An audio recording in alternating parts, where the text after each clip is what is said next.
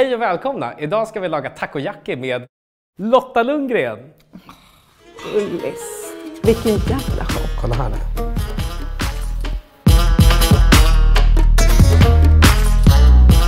Jag är så glad för att du är här. Jag är så glad att vara här. Eh, Du har faktiskt varit lite min idol, eller inte så lite. Det är lite sjukt. Jag vet, det är lite obekvämt Ja. också. Men jag har ju varit jätteintresserad av dig utan ens ha sett dig i Sveriges Mästerkock. Och det- Jag började läsa om dig och sen skrev jag om dig och sen kollade jag upp det. Så jag har varit väldigt intresserad av dig. Och eh, det intresset har ju inte minskat sen vi träffades. Mm. Har du smakat på takoyaki någon gång? Nej, men Eh, vilket namn. Vilket namn? Taco, eh, på japanska då, det betyder bläckfisk. Ja. Och yaki betyder ju att steka eller grilla någonting. Precis. Så vi kommer göra bollar av, eh, som man fyller med bläckfisk. Vi kommer fylla det med lite salladslök, det kommer vara lite ingefära och grejer här. Jag kommer be dig skära bläckfisken i typ så här lite små bitar. När jag assisterar en kock, Ja. då vill jag att det ska bli perfekt. Precis som jag Ja. har tänkt mig. Ja. men då kan jag visa lite Ja, den visa sizen som precis. jag har tänkt mig. Alltså de behöver inte vara fyrkantiga. Nej. Alltså, den här sizen, den är bra. Alltså så ljuvligt. Titta på den här rackaren. Alltså den är Man blir glad. vacker. Alltså jag känner ju nästan lite blandade känslor inför att äta bläckfisk. För man har mycket respekt för dem som liksom varelser. Det är Eh, stora djur, mycket kloka. Mycket kloka. Och tre hjärtan. Ja, och hur många alltså, neuroner och hjärnceller Mm, som helst överallt. Ehm, men de är faktiskt ganska vad ska man säga, hållbara Mm. att äta. För de har korta livscykler och det finns gott om dem i havet faktiskt. Det finns en otrolig dokumentär om en, ja, någon gubbe som blir kompis Jag med vet. en... Har du sett den? Jag har sett den. Eh, Min Bläckfisk-kompisen. vän bläckfisken. Det är ju den som gör att man känner bara, gud vill jag verkligen äta de här gulliga? Det är typ Ja. en av de bästa saker jag har sett på Ja, TV. jag, kan, jag, kan, jag brukar se om den Ja, faktiskt. ja, den är enormt rörande. Så, vi ska göra en smet också. Det kan jag passa på att göra nu medan Lotta skär. Eh, så då har jag här vanligt vetemjöl. Ja, det ser ut som det gör.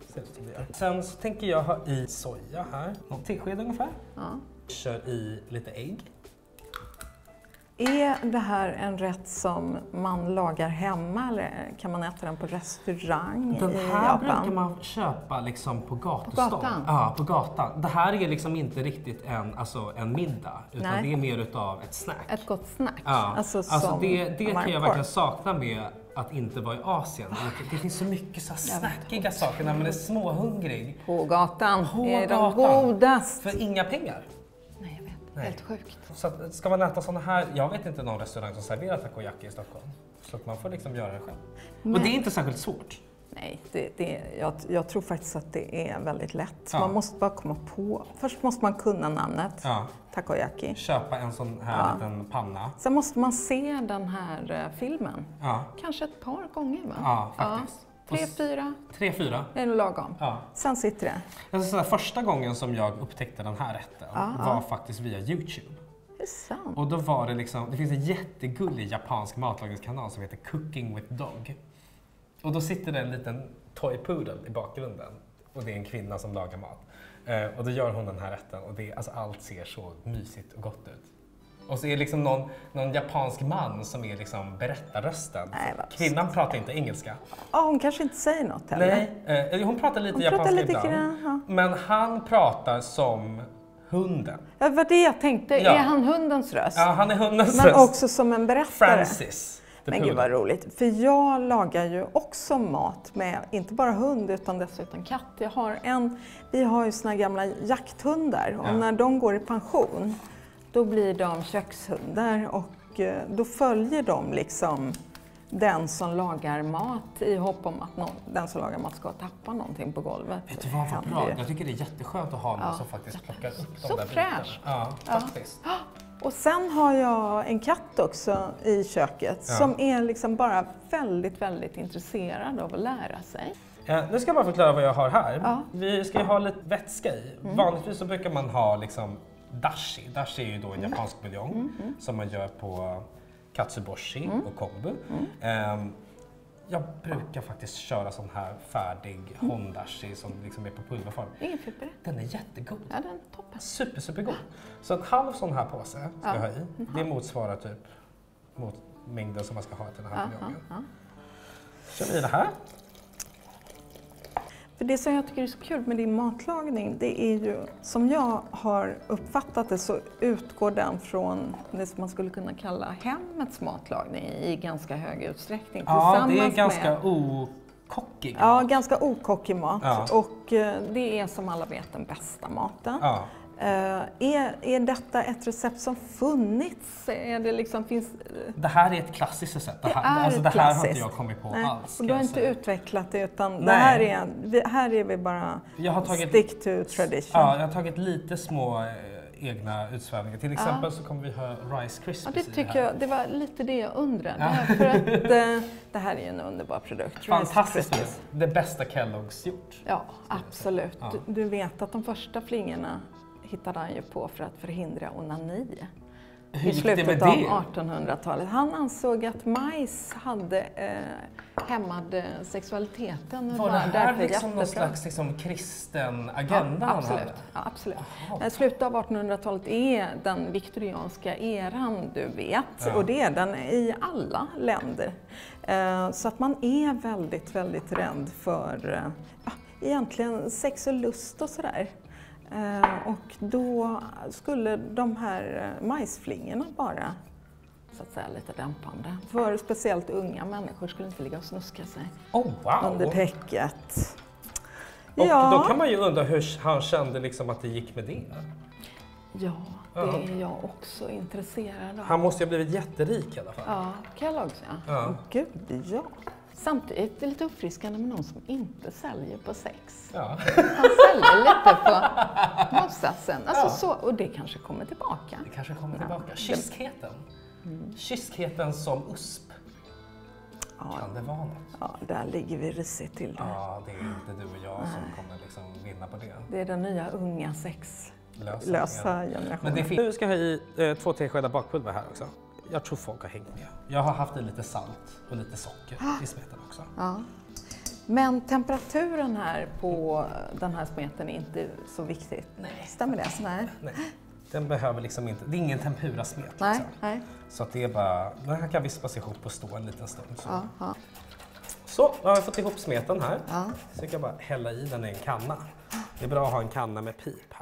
Den här bläckfisken vi jobbar med, har, Ja. den, har den varit kokt? Den har varit kokt, Ja, precis. knepigt med bläckfisk. Den ska ju antingen tillagas något så fruktansvärt snabbt. Jag har aldrig lyckats med det. Nej, Nej. jag- det, ibland blir det segt. Ja, nej, men alltså det långsamma, att Ja. koka den länge är Eller enda- jättelänge, ja. Ja, är det enda sättet jag lyckas med faktiskt.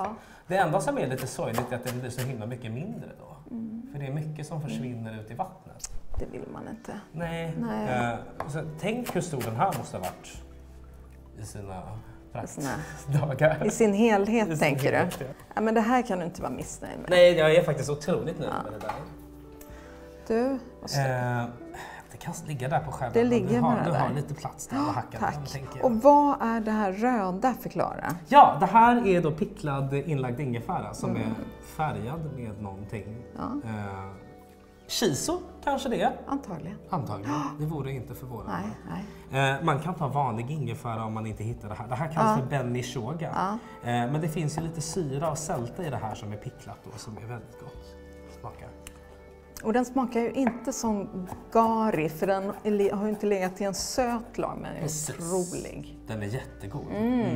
Ja, verkligen inlagd. Smakar nästan som det har varit lite syra. Ja, jag tror att det är lite Ja. vinäger i eller Ja. Det är alltid gott med eh, någonting picklat i typ allt. Men det här vill du ha ganska smått, ja, det eller där hur? duger det. Det det är sant? jättebra. Ja, jag tycker det är klart. Ja. Det är gott att få det där lilla krispet i Då också. stoppar jag. Så.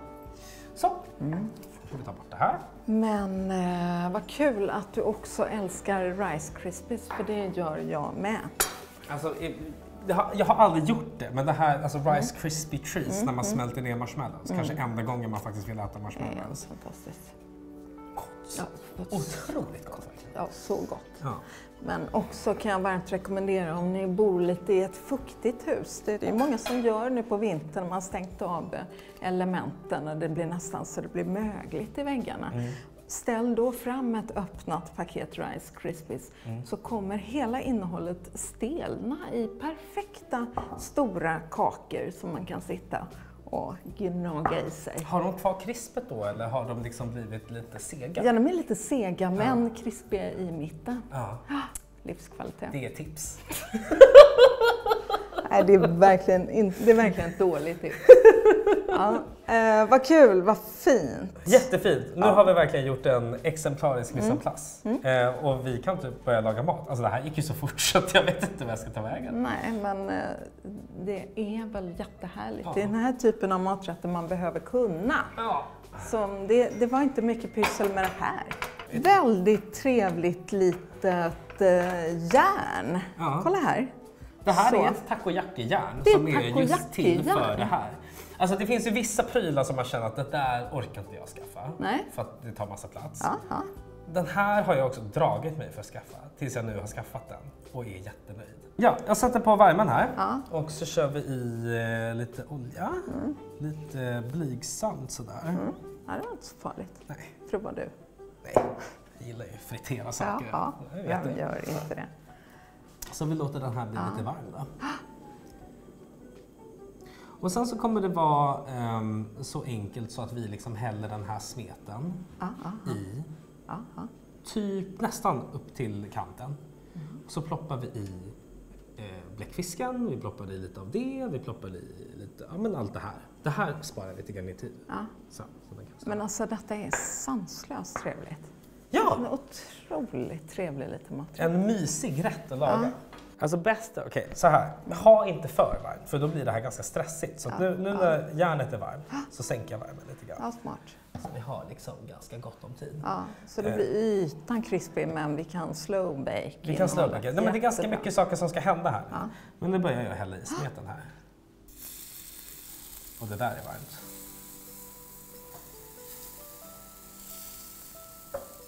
Sådär. Då kan du få ploppa i Så en vi- bit bläckfisk i varje. Är det bara en bit i varje? Ja. Men vi gör ju några satser så vi, har ju, alltså, vi har ju kanske lite mer bläckfisk än vad man behöver. Så går jag efter dig Ja, i den här ordningen. ja visst. Då kör vi lite av den här ingefäran. Och lite salladslök.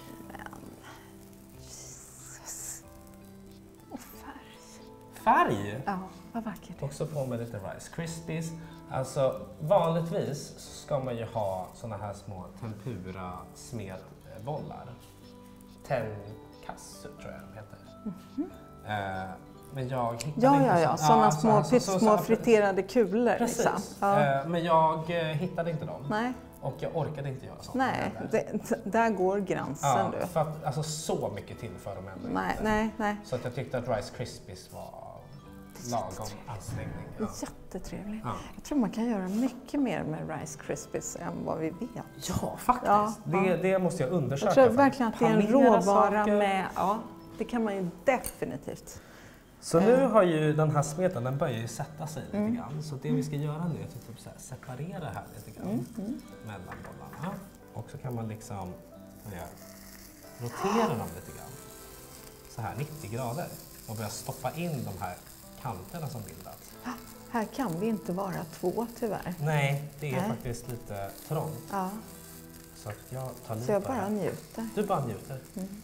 Så där gör vi. Det här var ohyggligt fint. Var får jag tag på ett sånt här järn? Jag köpte det här på Amazon. Amazon, Eh, ja, jättebra. skulle jag säga. Det är verkligen en sån sak som man är glad för att de finns.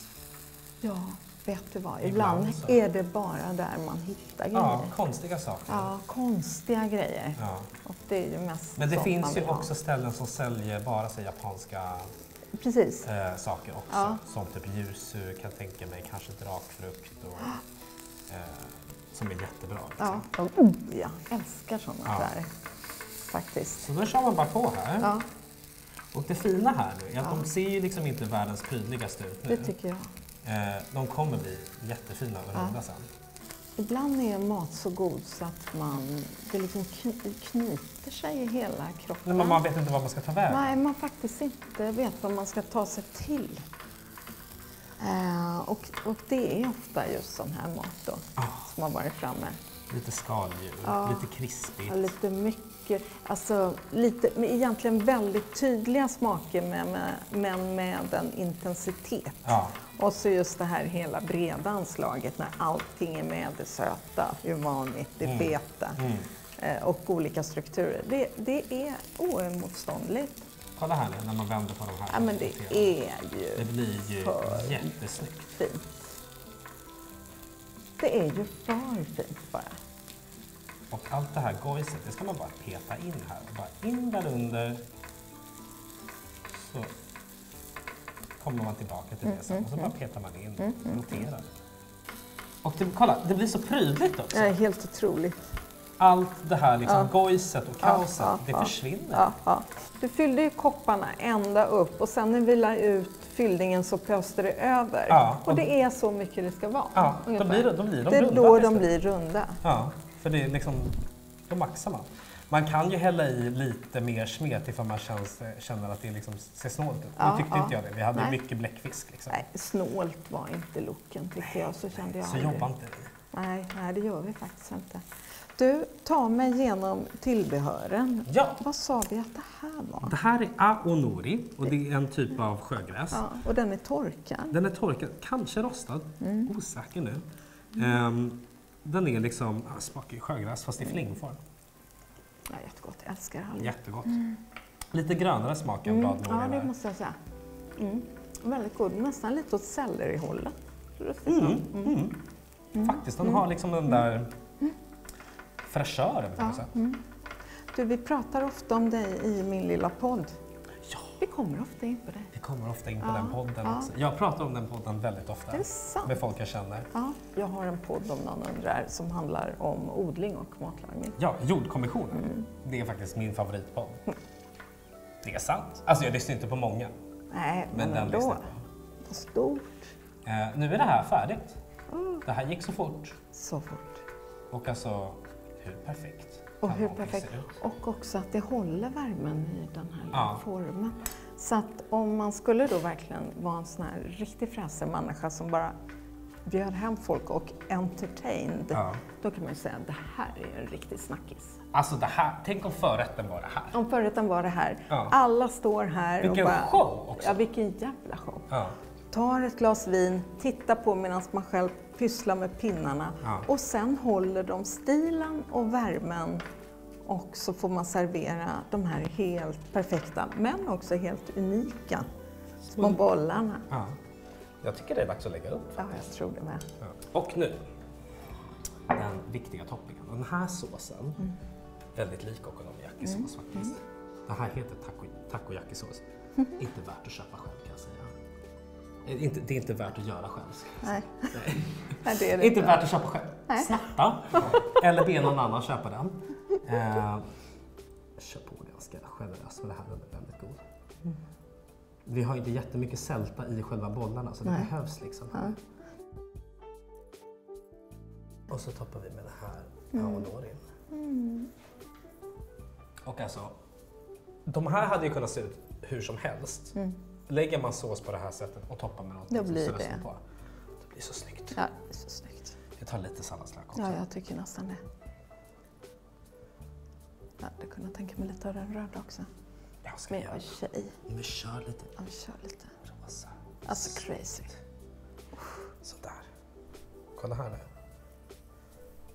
När man lägger på sådana här flakes. De liksom dansar. Ja, det är inte klokt. Det är liksom... Vet, det, det är väl liksom det här som man tänker att det är kultur, att man kan hitta på att man ska göra en mat som är på det här viset. Ja. Alltså som Alltså, en föreställning. Ja, men alltså, det här är ju, det här är ju entertainment. Ja. Det ser ut som fjärilar. Ja. Alltså. Nej men alltså, har du fått de här bilderna på det här? Alltså jag... Nej men jag smäller av, jag kommer ta en i mitten.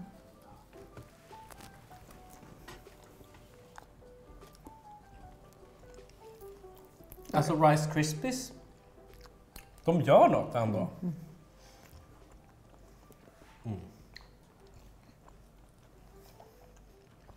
Nej, det är så underbart. Mm. Nej men det är inte klokt. Mm.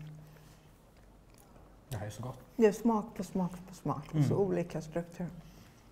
Helt fantastiskt. Mm. Helt fantastiskt. Tänk att man kan köpa det här på, alltså, på gatan. Alltså det är bara att står någon där ute och liksom Och bara gör de här gör hela de här säljer så dem. jättestora liksom, pannor. Det är underbart. Och att det alltid är kö. Ja, såklart det. Det tycker förstår jag på något sätt är liksom ja. fantastiskt att folk också show up Mm, för gatumaten.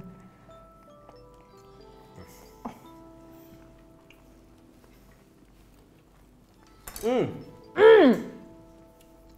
Det har vi gjort riktigt bra. Smash it. Så gott. Nej men alltså, vad gott det är. Mm. Och bläckfisken. Mm. Alltså, Bläckfisken. jag tänker att om jag kunde bli någonting så här gott när jag dog, då skulle inte jag vara ledsen. Mm. Då skulle jag tycka, okej. Det är faktiskt okej. Nej, det är faktiskt Så okej. länge det Ta en gör till. något riktigt gott med bläckfisken, då är det faktiskt okej. Det är helt okej. Men titta, den lever fortfarande. Alltså inte bläckfisken. Mm. Nej men alltså, Ja, men skit mig. jag tror att vi måste ha ett avslut så att vi kan njuta i enrum. Mm. Tack så jättemycket för att ni tittar. Recept på det här finns i beskrivningen. Lotta kan du såklart lyssna på mer av i julkommissionen. Tack för att du kom hit. Men gud, tack för att du... Alltså, Jimmy. Så. Hej, hej, Nu vill vi eh, ha lite privacy. Hej då. Ja, men sluta. Får man ta en till? Kör på.